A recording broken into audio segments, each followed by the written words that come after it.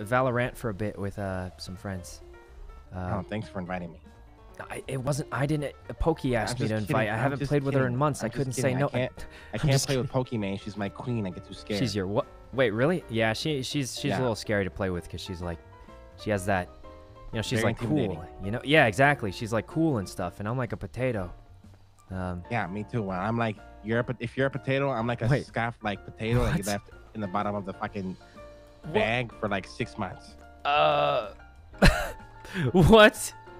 Um, See you soon, I- everybody. yeah, yeah. I'll see. You're not you're not a forgotten potato. I, okay. Um, I. All right.